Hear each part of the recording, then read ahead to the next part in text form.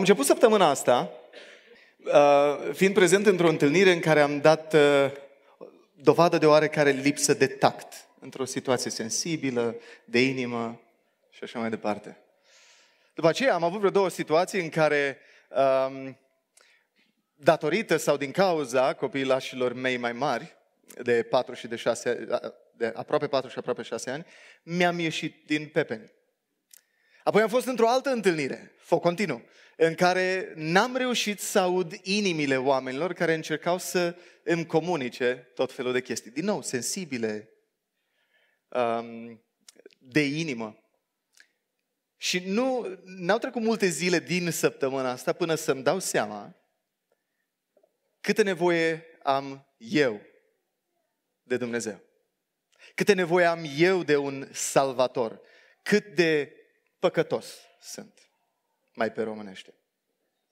Iar studiul din uh, uh, textului pentru dimineața aceasta mi-a intrat mie mănușă încercând să îmi aduc aminte că de fapt nu sunt perfect, că de fapt nu le am pe toate la oaltă, că de fapt singurul care le-a avut pe toate la oaltă a fost Isus, Domnul Isus Hristos.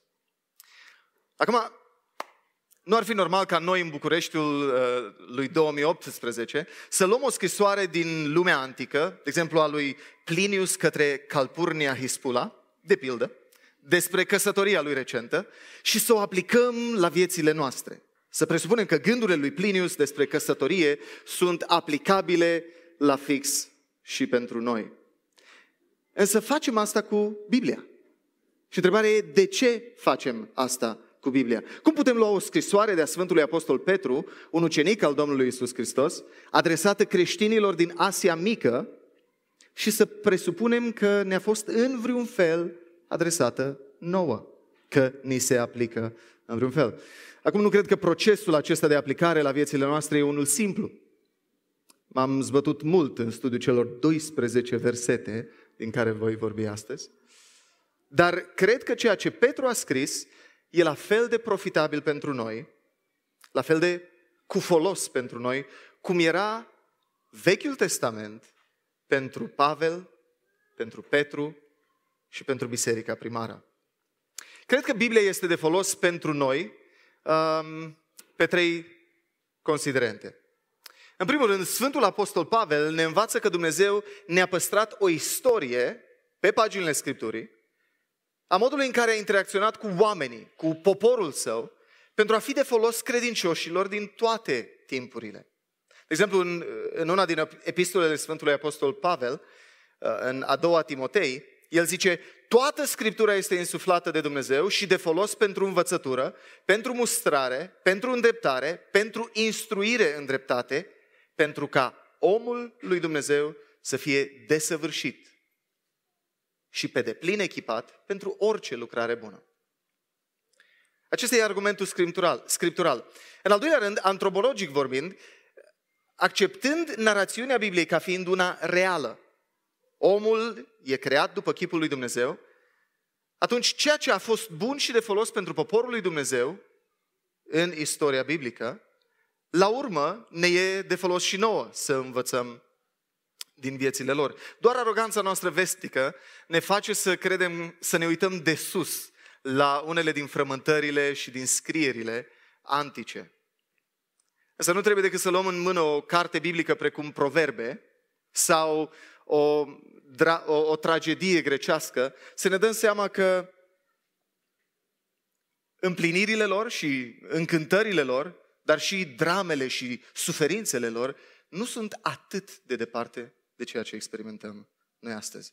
Suntem destul de asemănători cu oamenii care au trăit pe pământ de-a lungul istoriei umane. În al treilea rând, aș zice argumentul eclesiologic sau bisericesc. Creștinii de-a lungul secolilor, secolelor sunt una. Asta a spus Isus. Eu am venit ca voi să fiți una și oamenii, văzând că sunteți una, să creadă că sunteți, să înțeleagă că sunteți ucenicii mei. Am venit să fiți una cum eu și Tatăl suntem una. Și atunci suntem una nu doar cu uh, credincioșii din generația noastră, suntem una și cu credincioșii de-a lungul generațiilor. într-un anume sens, creștinii din primul secol, despre care scrie Pavel, uh, Petru, sunt strămoșii noștri spirituali și atunci avem ce învăța de la ei. Eu însumi am crescut în mediul baptist și am auzit sute de predici până la vârsta de 18 ani, dar am fost radical transformat în momentul în care am luat eu însumi Biblia și am citit din ea. Pentru prima dată, la 18 ani. Am fost atât de convins de adevărul Scripturii, încât mi-am pus încrederea în adevărul ei. Dar ceea ce a fost cel mai tare, a fost că viața mea s-a schimbat radical. Și s-a schimbat așa de tare încât nu colegii de la școală și vecinii și mai știu eu ce au observat, ci au observat chiar și ceilalți creștini alături de care trăiam. Păi, ești diferit, ești ok? Într-un sens bun. Uh, da. Acum, în dimineața asta vom intra în uh, prima epistolă a Sfântului Apostol Petru, scrisă uh, unor biserici din Asia Mică. Data în care a fost scrisă e probabil 62-63 după Hristos. Uh, cu puțin înainte de începutul persecuției lui Nero în Roma și apoi în tot Imperiul Roman. Modul în care, cuvintele pe care le folosește și ceea ce descrie Petru în epistola aceasta, nu pare a indica faptul că persecuția răs, uh, lărgită la nivelul Imperiului a început deja. Folosirea termenului Babilon cu referire la Roma, uh, undeva în capitolul 5, arată că Petru a scris epistola din Roma către bisericile din Asia Mică. Și știm din conținutul scrisorii că destinatarii se confruntau cu suferință și persecuție datorită credinței lor.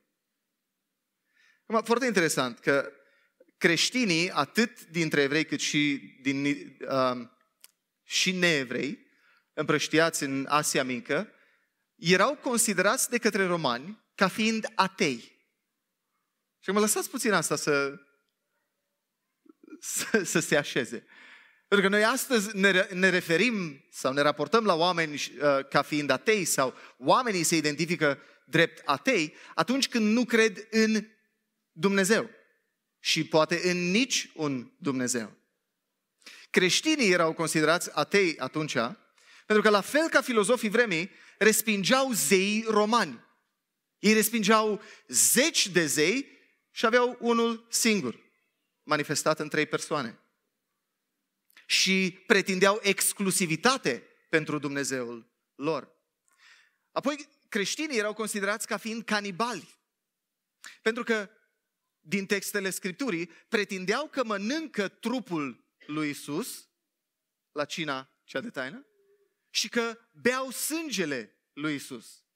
Ceea ce, evident, pentru cultura lor îi expunea la tot felul de izolări ciudate sociale și, da, dacă vrem să fim supărați pe cineva pe ăștia, sigur că le putem da, da pe coajă, nimeni nu se plânge dacă ei suferă. Mai erau considerați și incestuoși. Din pricina unor, unor expresii din Scriptură, precum te iubesc frate, vă iubesc frați și surori. Și era așa, băi, stai că voi sunteți neamuri. Dar Scriptura vorbește de frați și surori în credință, numind astfel ucenicii lui Isus de-a lungul generațiilor care erau parte din biserică. Acesta era probabil și motivul pentru care erau ostracizați și persecutați. Epistola aceasta a Sfântului Apostol Petru a fost scrisă pentru a încuraja creștinii, mai ales pe cei de curând încreștinați într-o cultură predominant păgână și pentru a le aduce aminte adevărul și realitatea harului. Harul e un cuvânt mare care înseamnă favoare nemeritată din partea lui Dumnezeu. Prin acest har, ei au fost acceptați, și Dumnezeu e vrednic de încredere, pentru că a extins acest har și până la noi. Petru nu a scris un tratat teologic, ci mai degrabă ca un pastor iscusit și-a bazat sfaturile etice pe cunoașterea și experimentarea caracterului lui Dumnezeu. Astfel, doctrinele pe care le expune în epistolă sunt cele care alimentează o viață de creștin radicală în mijlocul suferințelor. Bun. Asta despre destinatari, dată, scop. Aș vrea să citim textul asupra căruia ne vom uh, opri în dimineața aceasta și apoi aș vrea să cer binecuvântarea lui Dumnezeu uh, peste timpul nostru împreună în acest text. Uh, 1 Petru, capitolul 1, versetul 1. Petru, apostol al lui Isus Hristos, către cei aleși care locuiesc ca peregrini împrăștiați în Pont, Galatia, Capadocia, Asia și Bitinia. Revin. Petru, apostol al lui Isus Hristos, către cei aleși care locuiesc în toate zonele acestea, după preștiința lui Dumnezeu Tatăl, prin sfințirea lucrată de Duhul, spre ascultarea și stropirea cu sângele lui Isus Hristos. Harul și pacea să vă fie înmulțite. Binecuvântat să fie Dumnezeu, Tatăl Domnului nostru Isus Hristos, care, după marea lui îndurare, ne-a născut din nou la o nădejde vie, prin învierea lui Isus Hristos din morți. Și la o moștenire nepieritoare și nepângărită, care nu se ofilește și care este păstrată în ceruri pentru voi. Voi sunteți păziți de puterea lui Dumnezeu, prin credință, pentru mântuirea care este gata să fie descoperită în vremea de pe urmă. În ea voi vă bucurați nespus. Măcar că acum, dacă trebuie, sunteți întristați pentru puțin timp prin felurite încercări. Pentru ca testarea credinței voastre, cu mult mai valoroasă decât aurul care piere și care totuși este testat prin foc, să aducă laudă, glorie și onoare la descoperirea lui Isus Hristos. Pe El, pe Hristos, voi îl iubiți fără să-L fi văzut. Credeți în El, chiar dacă acum nu-L vedeți și vă bucurați nespus, cu o bucurie de nedescris și glorioasă, pentru că primiți la capătul credinței voastre mântuirea sufletelor voastre.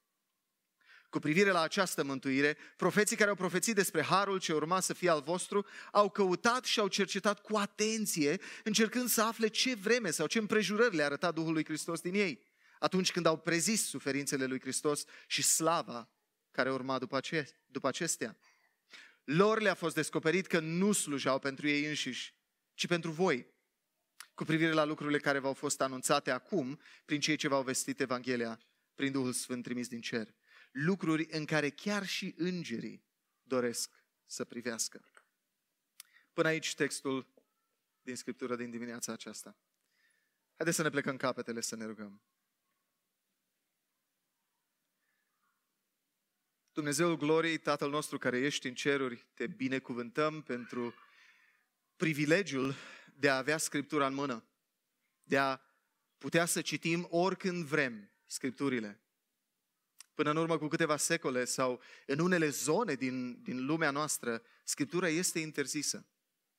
Și în sensul ăsta ne, ne cerem iertare că punem atât de rar mâna pe Biblie, pe Sfintele Scripturi, ca să învățăm despre tine și să învățăm despre noi în raport cu tine.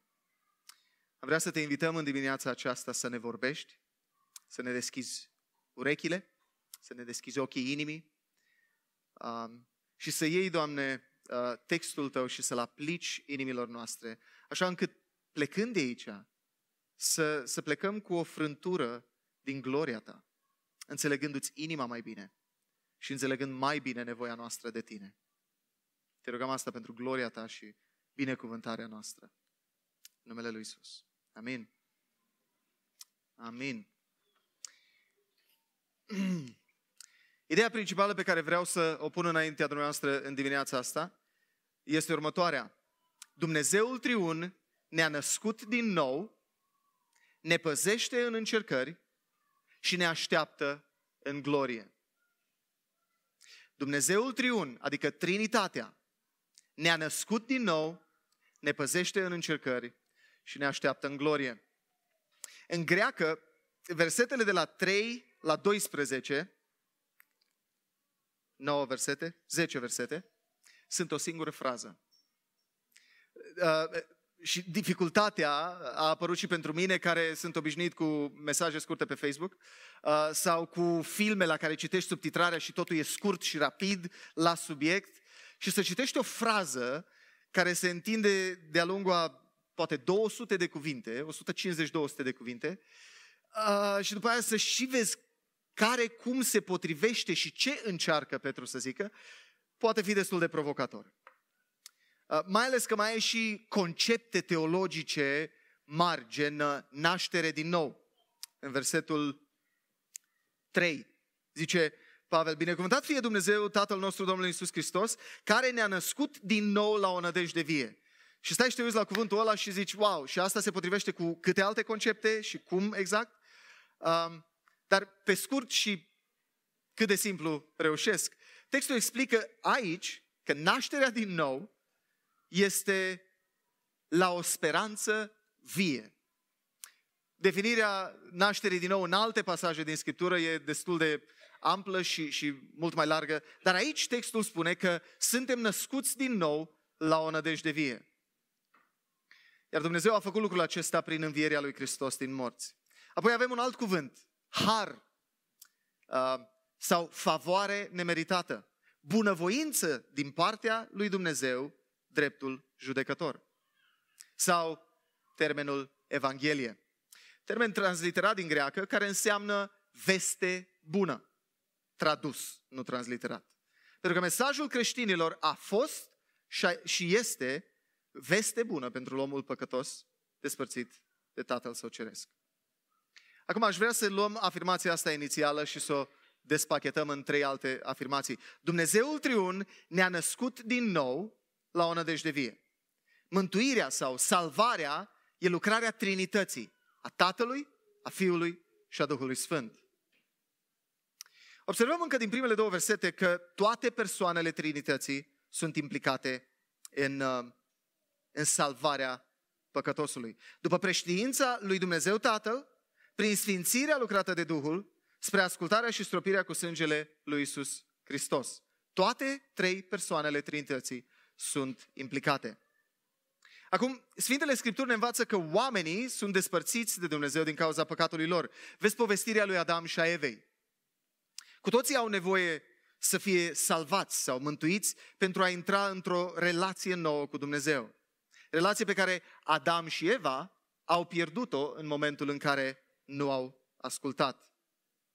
Salvarea sau mântuirea nu e rezultatul eforturilor umane, a privilegiilor sau înțelepciunii, ci depinde întru totul de îndurarea sau mila lui Dumnezeu. Unui Dumnezeu iubitor. Exact ce povestea și Mihai și Petra în dimineața asta.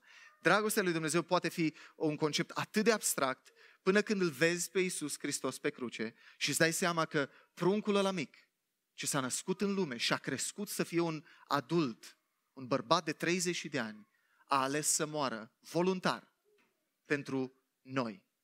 Atunci începe dragostea lui Dumnezeu să, să capete substanță și să capete fond. Pentru că dragostea adevărată înseamnă sacrificiu, cum zicea și Mihai. Această bunătate a lui Dumnezeu a fost exprimată în mod suprem prin Isus Hristos la cruce. Acum, cei care răspund la sacrificiul lui Isus prin căință și credință primesc mântuirea sau salvarea lui Dumnezeu. Hristos a fost pedepsit pentru ca noi să nu fim. Dumnezeu alege și când uh, Sfântul Apostol Petru spune despre credincioși că sunt aleși după preștiința lui Dumnezeu, versetul 2, um, ei sunt, el de fapt pune accentul pe suveranitatea și inițiativa lui Dumnezeu în salvarea oamenilor, în actul de salvare. Credincioșii sunt aleși pentru că Dumnezeu Tatăl și-a îndreptat dragostea asupra lor.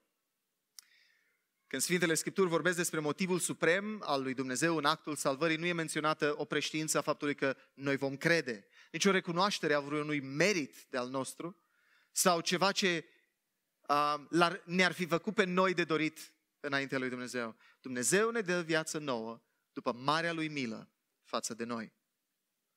Apoi Duhul Sfânt apare ca cel care sfințește. Sfințirea e un concept, din nou, un concept mare, uh, dar care în esență înseamnă transformarea vieții noastre din zi în zi după asemănarea vieții lui Isus, Domnului Isus Hristos. Ce îmi sare în ochi uitându-mă la, la textul nostru de astăzi este că um, atât textul cât și întreaga epistolă, sfințirea nu se întâmplă într-un mediu steril. În condiții de laborator ideale. Mă, mă gândesc aici la, um, la mașini și modul în care sunt testate și ușile care se închid și de, se deschid și pe îngheț și pe ploaie și de-a lungul la sute de mii de deschize, deschizături și trântituri uh, sau altor aparate casnice. Sunt testate la maxim înainte să, să fie puse pe piață, diferite um, abilități sau, sau moduri în care sunt făcute. Uh, în același timp, aceiași producători, la un moment dat îți vând o mașină și zic că face, uh, cum zic ei, uh, 3,8%. Consumă 3,8 uh, litri de carburant la sută și zici, mă, frate, și după aia încerci să mergi pe drum și să obții cifra aia și îți dai seama că, a, asta au publicat-o în condiții ideale de laborator, în care nu bate nici vântul, nu e nici rampă, nu sunt nici cauciucuri de suflate și așa mai departe. Da? E bine, uh, ceea ce Petru descrie aici ca sfințire, nu se întâmplă în condițiile alea ideale de, de laborator, ci sfințirea se întâmplă în mijlocul vieții de zi cu zi, în greutățile și suferințele de zi cu zi ale creștinului obișnuit. Nu găsim ideea de izolare de lume, de îndepărtare a oricăror ispite de, prin sihăstrie. Creștinii descriși de Sfântul Apostol Petru în această scrisoare își continuă existența sub aceiași stăpâni. Trăim în, ei trăiau în, în perioada uh, sclaviei și a stăpânilor care aveau sclavi. Uh, ei continuau să meargă la aceeași piață să-și facă cumpărăturile. Uh, continuau să aibă aceiași vecini care le văd viețile transformate și îi consideră atei și incești, incestuoși și așa mai departe. Deci, sfințirea pe care Duhul Sfânt o lucrează e în mijlocul greutăților și suferințelor. Apoi, a treia persoană din uh, Trinitate care apare în text este Isus Hristos care ne aduce la ascultare prin stropirea cu sângele Lui. Și ce imaginea e, e din Vechiul Testament în care preotul sacrifica uh, un animal și apoi lua sângele animalului și stropea oamenii cu sângele animalului și oamenii ziceau, da, vom asculta. E imaginea de la muntele Sinai, în care imediat după ce ies din robia uh, egipteană, uh, preotul face lucrul acesta și poporul zice, da, vom asculta întru totul ce spune Dumnezeu. Dar, din nou, conceptul de mântuire poate fi destul de abstract. Și atunci, haideți să ne imaginăm pentru un moment că suntem condamnați la moarte. Suntem cu cătușe pe mâini, cu lanțuri la picioare, suntem în zona aia a închisorii, din care nu se iese decât cu picioarele înainte, pentru că vina noastră e atât de mare și atât de gravă. Și lucrurile se îndreaptă spre momentul T în care ni se pune casca aia pe cap și suntem electrocutați. Și se apropie ziua și ce fel de gânduri ne trec prin minte? Mai am vreo șansă? Sau deja renunț la, la orice speranță și orice uh, imaginația mea e, e, e deja bubuită și nu mai am nici măcar o frântură de speranță să scap din situația asta. Și suntem duși pe culoar înspre scaunul de execuție și în ultimul moment cineva zice, stați, stați, stați, a venit altcineva să moară în locul lui. Și ca să o dăm, să o dăm altfel, um, cel care uh, va muri e de fapt vinovat pentru asta. Și omul ăsta e, e liber. Acum, Isus n-a fost el vinovat, dar a luat el vina noastră asupra lui. Și s-a dus la cruce și a murit în locul nostru. Sau o altă imagine care ne ajută să, să uh, înțelegem conceptul de mântuire. Să presupunem că datorăm uh, 1 sau 10 milioane de euro. Sumă fantasmagorică pentru veniturile oricăruia dintre noi. Nici nu știu cum am putea să ne facem o datorie de genul ăsta la veniturile noastre, dar să presupunem că avem datoria asta și, și trăim cu povara asta și ne culcăm cu povara asta și ne trezim cu povara asta. Și cei care au luat credit în franci știu despre ce e vorba. Ok? Și, și, și alții, și alții care n-au luat neapărat creditele alea. Dacă avem un credit și, și mai mare poate decât uh, venitul nostru, vedem că se, se distanțează tot mai mult de, de o acoperire a creditului respectiv într-un termen uh, cât de cât acceptabil. Și la un moment dat, într-o zi, ne întâlnim cu un prieten de-al nostru bun și zice, băi, fii atent, hai mă că îți plătesc eu asta.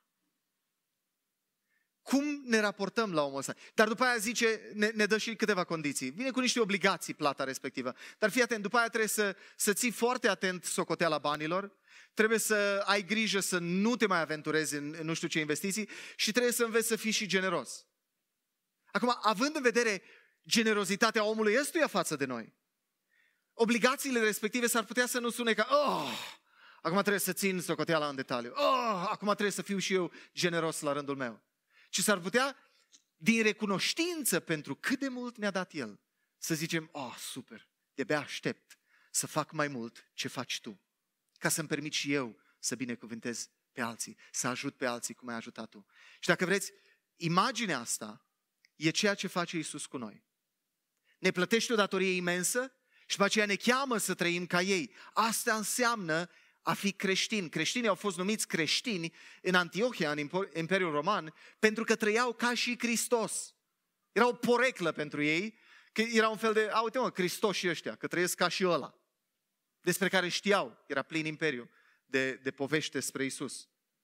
Și atunci ne simțim obligați să trăim în feluri, în felul în care Isus a trăit, sau ne simțim încântați.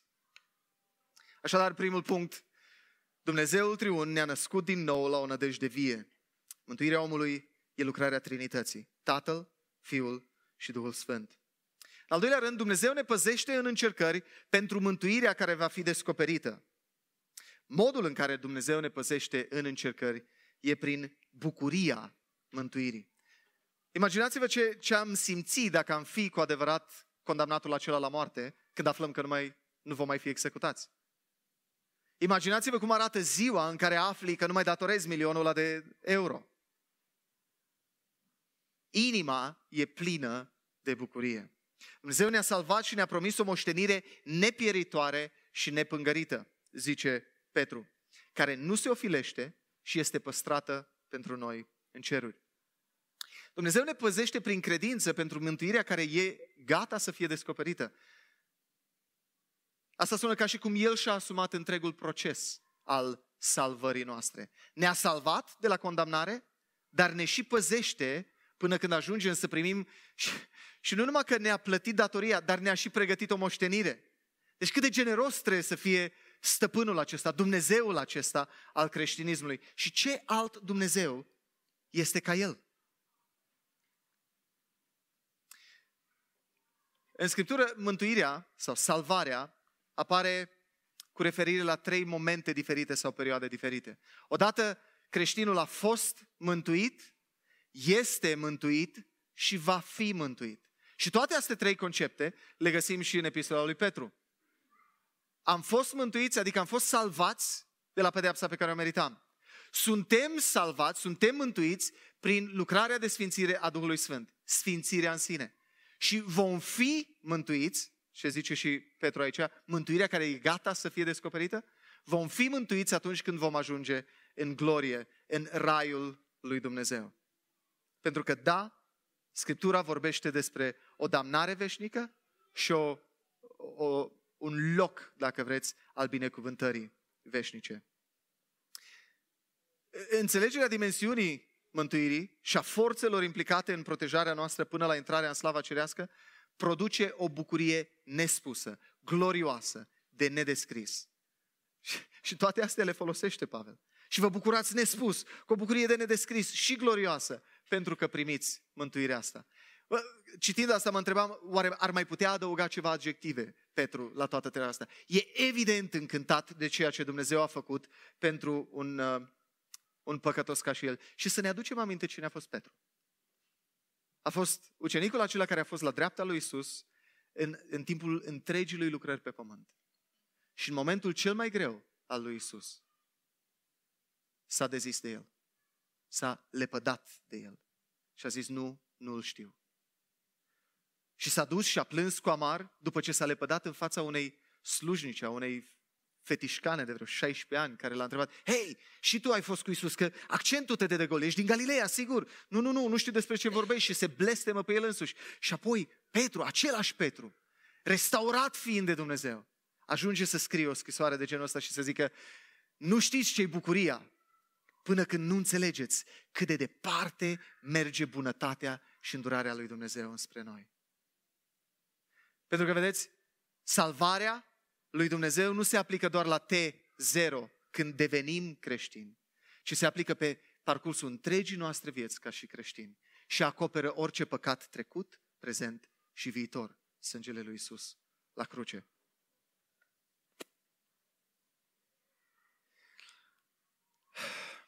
În ultimele 100 de zile, 100 și ceva de zile acum, în București a fost o familie din Statele Unite blocată în București peste cât și-ar fi dorit să stea. Au venit pentru nunta unui nepot de-al lor și în seara când trebuia uh, să plece la aeroport, uh, unul din... Uh, deci era o doamnă cu soțul ei și cu fratele dânsei, în jur de 68-70 de ani.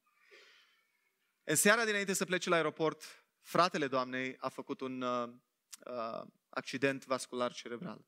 A fost o, o hemoragie masivă, uh, dar ambulanța a ajuns în 5 minute și după alte 7 minute a ajuns la spital. Lucru care probabil i-a salvat viața. Medicii au zis că avea șanse de 10% să supraviețuiască, iar faptul că după 94 de zile de spitalizare mergea pe picioarele lui și doar nervul optic de la un ochi îi făcea probleme, a zis că doar 25% din cei 10% își revin în felul acesta. Vineri, pe 2 martie, au plecat în sfârșit cu avionul acasă și noi, ca biserică, ne-am rugat mult pentru Gerald, Ken și Jeanette. Dar lucru interesant, pentru că i-am ajutat în multe contexte, uh, și la spital, și la serviciul de imigrări a, uh, a României, nu vă doresc, um, și la aeroport am fost cu ei și așa mai departe. Um, de câte ori povesteam cu oameni, fie uh, neamuri, familie de, de altor pacienți care erau în, în salon cu Gerald, sau proprietarul hotelului, sau oameni de pe la, din gara de nord, că acolo, la McDonald's și la KFC era, erau mesele lor. Din nou și din nou oamenii mă întrebau, ce e cu oamenii ăștia? Gândindu-ne la, la lucrurile prin care trec și faptul că sunt blocați în România, din toate țările. Fi blocat în Maldive, dar nu în România, 100 de zile, da?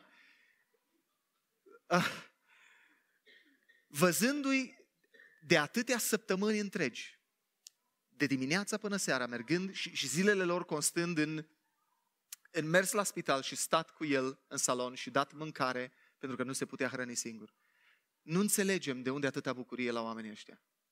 Nu i-am văzut tensionați în relațiile dintre, dintre ei, uh, i-am văzut întotdeauna cu o vorbă bună, chit că era în engleză, uh, cu, cu zâmbetul pe buze, și, și, și ceva e altfel la ei. E bine, Ken și Janet povestind cu ei, au devenit creștini undeva pe la 18 ani, 16 ani amândoi. Și au în urmă 60 de ani de, de vieți transformate de adevărurile Scripturii, de bunătatea lui Dumnezeu, experimentată în tot felul de circunstanțe, de la creșterea copiilor lor, la um, pierderea joburilor, la, la... Vă, vă dați seama ce experimentez până la 70 de ani. Și toate astea le-au dus, le-au experimentat, le-au trăit prin credință în Dumnezeu. Viețile lor arată foarte diferit decât a multor bătrânei români pe care i-am mai întâlnit pe aici, pe acolo. Și ce fain să vezi niște oameni care îmbătrânesc senin și, și uh, liniștiți. Și asta pentru că și șoferilor de Uber, deci nu, nu, fără excepție, oriunde erau, vorbeau despre Gerald și cum Dumnezeu răspunde la rugăciuni și cum mii de oameni se roagă pentru el și cum speranța lor este că uh, este dincolo de lumea asta. Și chiar dacă Gerald ar pleca uh, din lumea asta și chiar dacă ei ar muri, nu îi sperie nimic. Ei, genul ăsta de credință descrie Petru aici. Genul de bucurie care trece dincolo de încercările uh, de o clipă, cum le descrie Petru aici, pe care le experimentăm aici. Mă gândesc în ultimele două, trei, patru săptămâni, chiar și în Misiodei, câte situații grele au fost. De la părinți care au ajuns în spital uh, cu, cu infart sau preinfart, la uh, chiar și um, familia Miu, care e plecată acum din mijlocul nostru, la Tulcea, pentru a fi alături de restul familiei um, la mormântarea mamei Ancăi. So, uh, haideți să ne rugăm pentru ei zilele astea și haideți să-i căutăm și să le dăm un cuvânt de încurajare.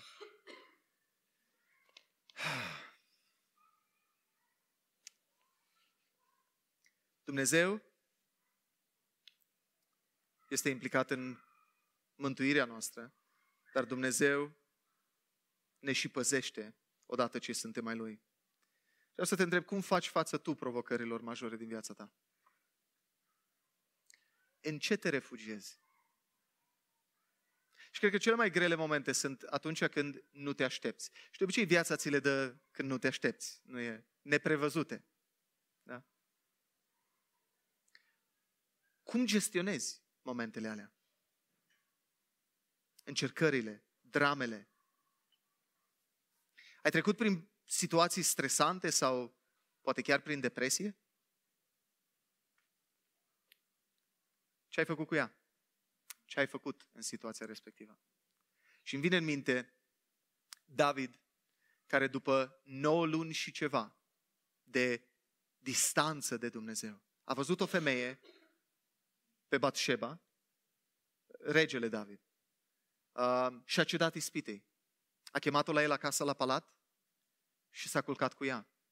Și apoi a mințit, a ascuns, i-a omorât soțul și a adus-o la palat. Și în tot timpul ăsta n-a mărturisit nimănui. Și când în sfârșit e confruntat de către unul din profeții lui Dumnezeu de la palat, David se prăbușește și zice, ai dreptate, Doamne, am greșit. Psalmul 51 zice, zidește în mine o inimă curată, Dumnezeule, și pune în mine un duh nou și statornic în lăuntrul meu. Nu mă izgoni din prezența ta și nu lua de la mine Duhul tău cel sfânt. Dăm iarăși bucuria mântuirii tale. Sprijină-mă cu un duh de bunăvoință. În al treilea rând, Dumnezeu ne așteaptă în glorie, în raiul său, unde atracția principală nu e locul în sine. Nu va curge apa în sus sau se va întâmpla nu știu ce ciudat ci atracția principală e persoana lui, e Dumnezeu însuși. Mulți oameni zic, uh, îmi place cerul, oh, de-abia aștept să ajung acolo, dar uh, nu se așteaptă să fie și Dumnezeu acolo. Se așteaptă să fie cățelușul lor sau uh, prieteni sau, sau familie, dar parcă nu pentru el tângesc să ajungă acolo. Mântuirea e o persoană, Domnul Isus Hristos. După ce în versetul 5 ne spune Petru că Dumnezeu ne păzește până la mântuirea gata să fie descoperită. În versetul 7 ne spune că testarea credinței noastre aduce laudă Domnului Isus Hristos la descoperirea Lui. Și atunci te, Petru pare a pune egal între mântuire și persoana lui Isus Hristos. Pentru că Aceeași bucurie care e descrisă vis-a-vis de mântuirea, pe care, de salvarea pe care am experimentat-o, e descrisă și în relația cu Isus. Dacă inițial Petru vorbea de o bucurie uh, de, nes, de nespus ce vine din speranța mântuirii viitoare, aici el spune că părtășia noastră zilnică, personală cu Domnul Isus Hristos este sursa um, unei bucurii mai mari, negreite, de nedescris și glorioasă. Acum, misterul acesta al unui Dumnezeu întrupat, al salvării inițiale, sfințirii și glorificării, ne spune Petru că i-a nedumerit pe profeții care au scris despre ele. Și astea sunt uh, versetele de la 10 la 12. Cu privire la această mântuire, profeții care au profețit despre harul ce urma să fie al vostru au căutat și au cercetat cu atenție, încercând să afle ce vreme sau ce împrejurări le arăta Duhul lui Hristos. E un privilegiu că trăim de partea asta a crucii lui Hristos. Chiar și Isus zice, voi înțelegeți ce vremuri trăiți? Cei care au scris lucrurile astea și-ar fi dorit să experimenteze zilele pe care voi le experimentați, să audă cuvintele pe care le auziți voi, să mă vadă pe mine. Asta spune Mântuitorul. Și totuși, ucenicii îl experimentează și, și n-are sens cum 12 oameni sau 120 de oameni au putut să transforme întreaga Europa și întreaga lume dacă cel pe care l-au experimentat timp de trei ani n-a fost Dumnezeu însuși. Și Europa și România arată diferit față de multe țări din lumea asta, datorită moștenirii noastre creștine. Pentru că valorile creștine au informat mai mult sau mai puțin legile țării, uh, gândirea oamenilor din țările noastre. Și chiar dacă Europa, marea parte a Europei, e post-creștină, undeva în, în, în uh, ce să, să surprind imaginea asta, cumva în, uh, în subteran, apa freatică, da? Este un râu subteran care alimentează în continuare respectul pentru viața umană, respect unul pentru celălalt, onoare față de, sau, sau respectarea legii și așa mai departe. E, nimeni nu vede pe cineva făcând rău și zice, cu job. În România se mai întâmplă. Um, dar, dar în general, în mod natural, taxăm călcarea de lege. E, e, e normal să, să nu lași oamenii să-și facă de cap. E normal să te revolți când în țara noastră se întâmplă ce se întâmplă la tot felul de nivele uh, care mai, de care mai înalte și politic și uh, așa mai departe. Pentru că Evanghelia a schimbat gândirea ță- oamenilor din țările astea de-a lungul secolelor. Când tragem linie, noi suntem privilegiați să trăim după descoperirea salvării în Hristos și să putem beneficia de revelația completă, dacă vreți, a planului de răscumpărare, a planului de salvare a omenirii.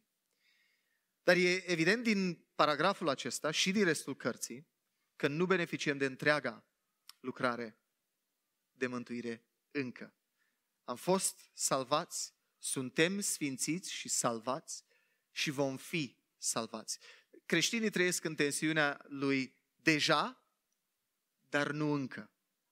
Și aici e dacă vreți, valea umbrei morții, valea plângerii. E, e o, ceea ce experimentăm nu e ceea ce a intenționat Dumnezeu. Trăim într-o lume căzută în păcat, o, o lume aflată sub blestem, unde lucrurile nu funcționează chiar așa cum ar trebui să funcționeze. Și cred că numai de azi dimineață, de când ne-am trezit și până acum, au fost chestii care ne-au dat indicii că nu trăim în lumea uh, inițială pe care a creat-o Dumnezeu. De la genunchiul ăla care doare, la, exact, la spatele ăla care doare, la foamea din stomac, la tot felul de, de chestii care zice, băi, dar parcă totuși. Nu știu dacă exista zăpadă și îngheț înainte de cădere. Posibil să nu. Iubitorii de zăpadă, nu, undeva pe munte sigur va fi, probabil. Uh, bun. Editorul și autorul cinic H.L. Mencken a definit la un moment dat speranța drept o credință patologică în manifestarea imposibilului. Mai zic o dată. Speranța e o credință patologică în manifestarea imposibilului. Ceea ce spune el de fapt e că a spera e absurd. Și e, e cumva un joc al minții în care ne dorim să se întâmple ceva și credem că se va întâmpla lucru pe care ne-l dorim să se întâmple, dar nu avem nicio garanție. Însă acea definiție nu e deloc în acord cu sensul biblic al termenului. Când zice Petru aici că am fost născuți din nou la o nădejde vie. Speranța creștină autentică e mai mult decât sper că o să fie așa sau așa. E o încredere sigură în gloria și binecuvântările viitoare, bazată nu pe o confundare a dorințelor noastre cu realitatea, ci bazată pe credincioșia lui Dumnezeu dovedită de-a lungul secolelor față de creația sa, față de poporul lui. Faptul că Domnul Iisus Hristos a venit la împlinirea vremurilor și a făcut ce a, ce a fost prezis despre El, murind pe cruce și înviind a treia zi, dă creștinului o speranță încrezătoare în promisiunile care urmează să se împlinească. Această speranță plină de încredere ne dă încurajarea și puterea de care avem nevoie pentru a face față fiecarei zile. Dar asta nu, ne, asta nu înseamnă că ne punem într-un poang, un fotoliu foarte confortabil de la un magazin anume din București, și stăm acolo cu minți și așteptăm revenirea lui Isus. Nu. Această speranță despre care vorbește uh, Petru aici e una care e suficient de zdravănă încât să ne susțină în încercări și în greutăți. E genul de speranță care ne scoate în piață, ne duce pe câmpul de bătălie, ne aruncă în maratonul și în iureșul vieții și ne susține acolo. Continuă să ne susțină și când poverile sunt mari, iar bătăliile acerbe. Speranța creștină nu e un sedativ. Speranța creștină e o injecție de adrenalină. Hmm. E o transfuzie de sânge. Precum o ancoră, speranța noastră în Hristos ne stabilizează în furtuni. Furtuni emoționale, furtuni financiare, furtuni relaționale, dar în mod diferit față de o ancoră, ne duce înainte prin furtunile acelea. Nu ne ține pe loc. Cât de puternică poate fi motivația anticipării cu încântare a unui viitor promis? Și am avut suficiente conversații și am experimentat la rândul meu asta. După sezoane, mai ales primăvara, deci după sezon, un sezon așa, lună după lună, după lună, după lună, încărcate cu muncă, cu discuții, cu clienți, cu job, cu toate cele, de-abia așteptăm să vină momentul concediului eluia pe care l-am cumpărat acum 5 luni. Și, și sunt momente când suntem la muncă, când suntem în fața calculatorului, când, când trecem prin pre- perioade stresante, când aia ne motivează. Ați experimentat chestia asta? Păi de, de aștept să fie vara. Sau toamna, de aștept să merg nu știu unde la schi, pentru cei cu muntele. Um, da? Pentru că ăsta e efectul speranței. Acum, un concediu vine și trece și după șapte zile zici, păi, nu m-am odihnit deloc. Este și asta. Cu cât mai meseriașă e speranța, garantată și garantată de caracterul lui Dumnezeu, a unui viitor întreg, veșnic, fără durere, fără lacrimă, fără despărțire sau altceva, fără moarte. Cât de multă bucurie și încântare și, și cât de mult trebuie să ne tragă o astfel de speranță în orice greutăți pe care le experimentăm în lumea de azi. În textul nostru, atenția e fixată pe Dumnezeu care inițiază și dă viața nouă. Nimeni nu-și asumă venirea în lume. Victor sau eu sau oricare dintre noi n-am zice, bă, am venit când am vrut, am plecat când am vrut. Nu venim când vrem, nu plecăm când vrem. E venirea noastră în lume și plecarea noastră din lume sunt niște acte clare ale unui Dumnezeu suveran. Bunicul meu de 96 de ani, pe 14 februarie, zice, venim pe rând și plecăm pe sărite. O zice des, pentru că și-a văzut toată generația plecând. Și se uită în jur și zice, băi, cine mai e în jurul meu? Am rămas singur. Nu decidem când venim în lume, nu decidem când plecăm din lume. Și dacă asta e, real, e, e adevărat despre trupurile noastre, la fel de adevărat este și despre uh, viețile noastre spirituale. Dumnezeu e Cel care ne naște din nou. Și ne naște din nou la o speranță vie. Și fiți atenți cum argumentează Petru aici. Ne-a născut din nou la o speranță vie prin învierea lui Isus Hristos din morți. Isus nu e cel prezentat în, în multe biserici uh, tradiționale, în uh, biserica ortodoxă, catolică, pe o cruce. Acela a fost un moment al existenței lui Hristos. El, Scriptura zice că a înviat a treia zi și acum stă în cer la dreapta lui Dumnezeu, mijlocind pentru cei care cred în, în jertfa lui în locul lor. Și atunci, speranța vie la care am fost născuți e persoana lui Hristos Iisus. El garantează cu propria lui experiență moartea și învierea lui, faptul că și noi vom beneficia de înviere în ziua de apoi. Dar Dumnezeu nu doar îi inspiră pe autorii biblici să scrie aceste lucruri, El însuși le-a experimentat. În scrisoarea către evrei, Iisus, cel care, pentru bucuria ce îi stătea înainte, a îndurat crucea, disprețuindu-i rușinea, s-a așezat la dreapta tronului lui Dumnezeu. Și zice scriitorul către evrei, gândiți-vă cu atenție la cel ce a îndurat o astfel de împotrivire față de el însuși din partea păcătoșilor, ca să nu vă lăsați descurajați și să nu renunțați. Iisus nu s-a lăsat descurajat, ci i-a iubit pe ai săi și i-a iubit până la capăt, dându-și viața pentru ei. Aceasta e nădejdea vie a creștinului. Aici e speranța pentru care am fost născuți. Iar pâinea și vinul ne aduc aminte de prețul nespus de mare care a fost plătit ca noi să fim răscumpărați. Dacă crezi că și Domnul Isus Hristos, că, că Domnul Isus Hristos a murit și pentru tine pe cruce, te invit să iei din pâine și din vin când vor trece pe rând prin fața ta. Și să îi cer lui Dumnezeu să-ți dea din nou bucuria aceasta de nedescris. Să-ți aducă aminte că e garantat viitorul în prezența Lui, pe cuvântul Lui. Dacă încă nu îți vezi nevoia de un salvator, te încurajez să stai și să te gândești la lucrurile pe care le-ai auzit în dimineața asta. Și poate la final reușim să povestim puțin. Fie cu Adiel, fie cu mine, fie cu persoanele care te-au invitat. După ce luăm în mână pâinea și vinul, aș vrea să așteptăm să ne împărtășim din ele împreună. Și aș vrea să citești ceea ce Sfântul Apostol Pavel a scris bisericii din Corint în timp ce trec elementele, în timp ce trece pâinea și vinul printre rânduri. Pavel spune în 1 Corinteni,